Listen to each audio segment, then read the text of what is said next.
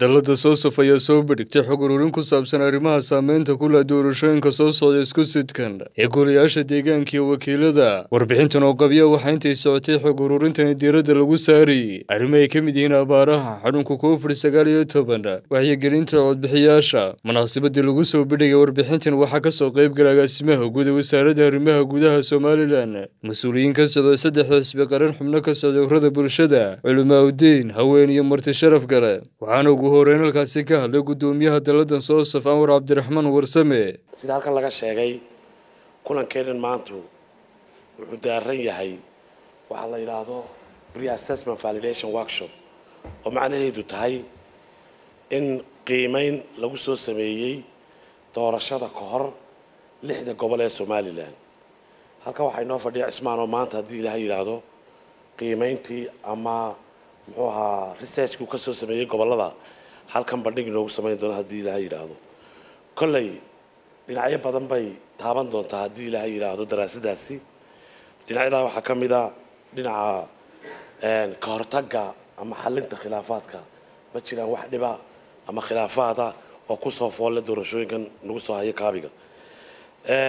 Sidee ay ahayd wacyigelintii ama muxuu ahaa tii muxuu ahaa markii dhawada kaadh qaadashada la sameynayey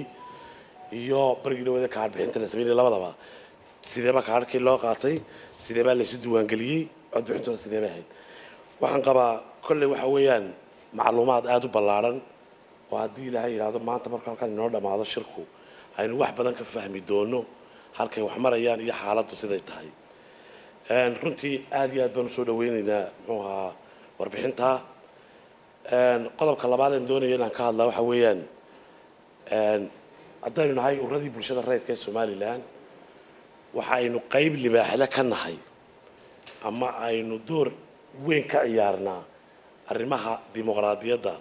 iyo doorashooyinka. Runtii waa ogeedeeno shalay toole. Golaha baarlamaanku wuxuu baasgareeyey xeer fourtiin oo ahaa xeerka dib u furista maxaa furashada ururada iyo xisbiyada. Xeerkaa waxaa ku jiray qodob runtii soo dhaweynaya civil society-ga oo ah in ururada bulshada rayidkahi ay doorkan qeyb ka yihiin in laba xubnood ay soo magacaabi doonaan guddida diiwaangelinta ururada.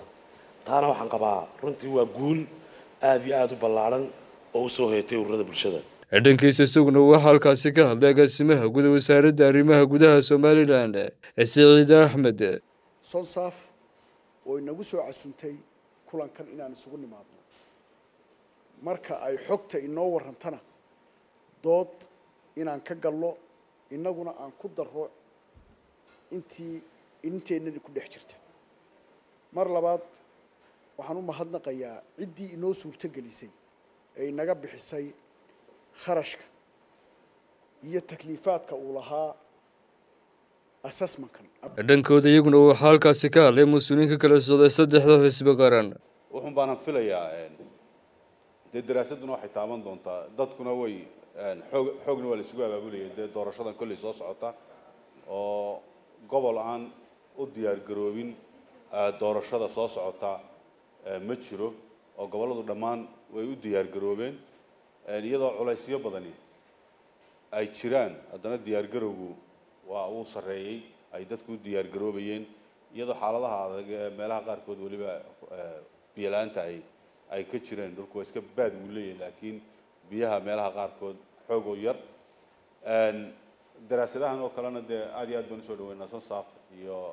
european unionka iyo iskakaash iskaashiga ay ka leeyihiin. Marka insha allahu tacaala dee waxaynu filaynaa un bal in si cadaaladda ay noogu dhacdo doorashadu idinkuna sonsof anugu dee in badan baan la shaqaynaya iminka waxoogaa aad ba aad bay iyaguna ay u wanaagsan yihiin. Laakiinse kolley waxaan ku dhiirin lahaa un hay'adihiina kale dhammaantiin in dee wixii khaladeed aragtaan ayadan ka aamusine. Marka qof la caburiyo ama xurniyadiisa la yidhaha isma sharaxaysid dee aad ka hadashaan. Howlwadeennada soonsaf madaxdeeda iyo cid alla ciddii ka gacan siisay ee ku garab gashay aad iyo aad baan ugu bogaadinayna waxaanu leenahay waad mahadsantihin ka xusbi kulmiya ahaana markanu halkan waa hordhac baan filayaa oo hordhac laga soo diyaariyey un weeyey markay daraasadaasi soo dhammaystiranto iyo tan halkan laynoogu soo bandhigaba wixii aanu nuxureenu ka helnaba waxaanu u gudbin doonaa xusbigayagii waxaan kaloon u gudbin doonaa hay'adaha khuseeya ean is leeyahay waxbay ka qaban doontaa